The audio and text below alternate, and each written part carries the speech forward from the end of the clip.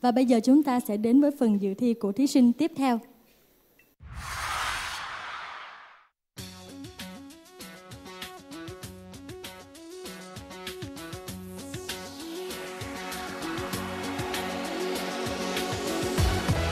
Thí sinh Trần Tuấn Hòa mã số 06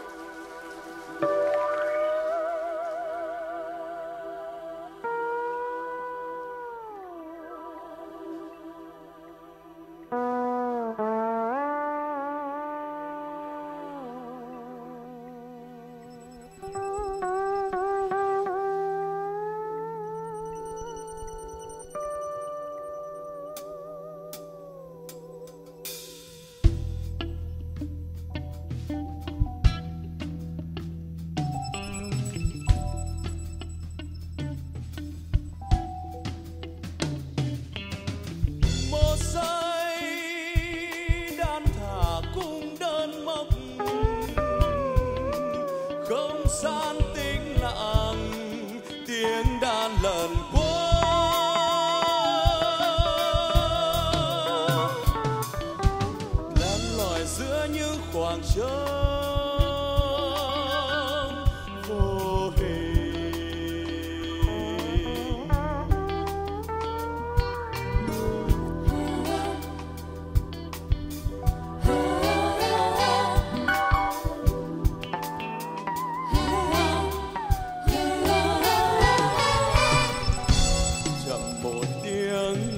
lòng ai ai đợi chờ ai đêm dài không nguyệt thắp đèn dầu tìm bóng ai trên vách, chỉ có ta với đời.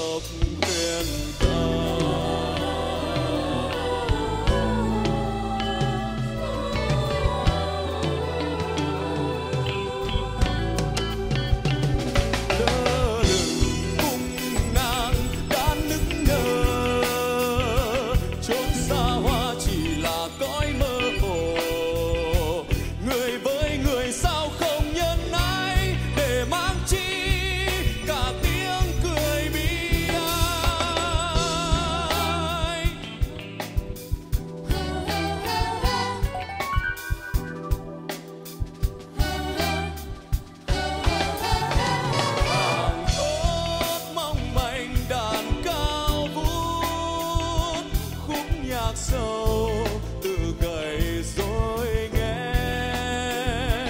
Ta với mi hai kẻ là một đồng huyền cầm ơi có vui đâu bao giờ.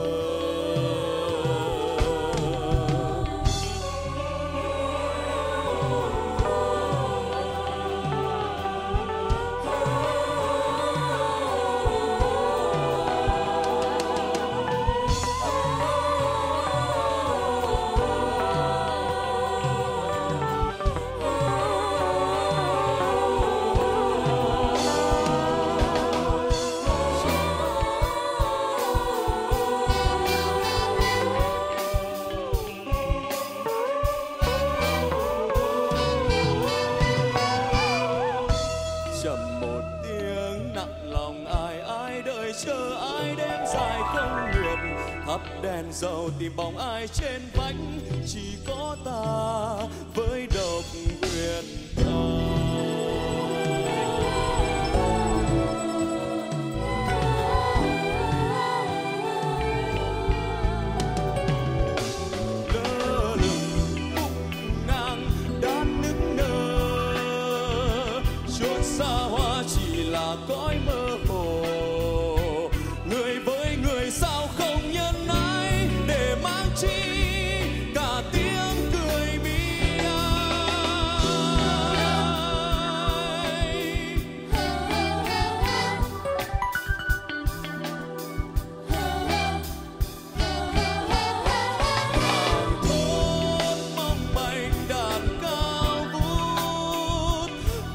Khúc nhạc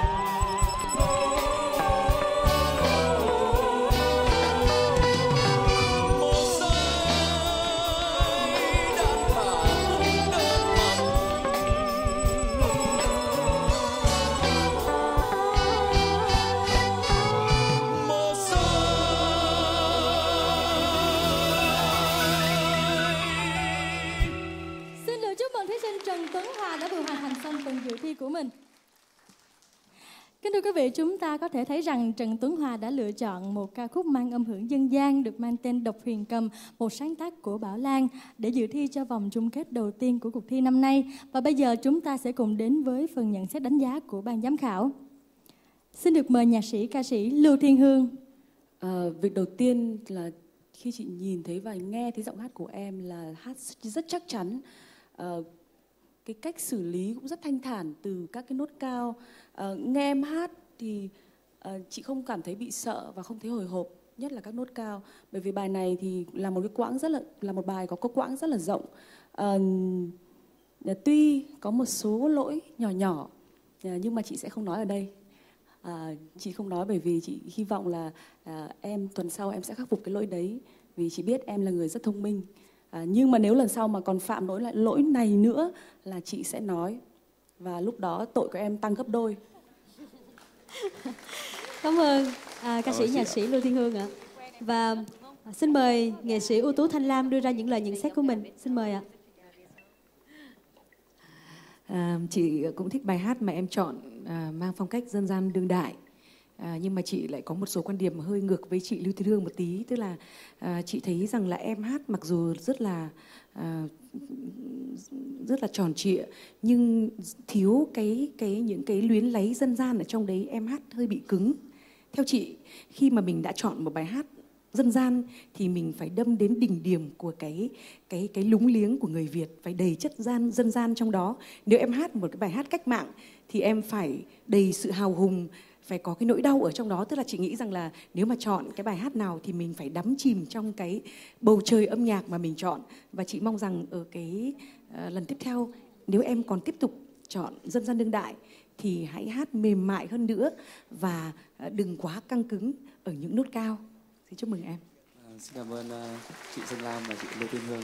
Xin cảm ơn nghệ sĩ ưu tú Thanh Lam và hy vọng là bạn sẽ có mặt trong những đêm sau nữa. Um, và bây giờ thì là số điểm của ban giám khảo dành cho phần dự thi của thí sinh Trần Tuấn Hòa. Nhạc sĩ ca sĩ Lưu Thiên Hương 18,70. Nghệ sĩ ưu tú Thanh Thúy 18,60. Nghệ sĩ ưu tú Thanh Lam 18,50 và nhạc sĩ Việt Anh 18,70. Và quý vị thân mến, hãy cùng bình chọn cho thí sinh Trần Tuấn Hòa bằng cách soạn tin nhắn THTH khoảng trắng 06 gửi đến 8483 và để biết thêm thông tin chi tiết về các thí sinh của cuộc thi, xin mời quý vị hãy cùng truy cập vào trang web www tiếng hát truyền hình thành phố Hồ Chí Minh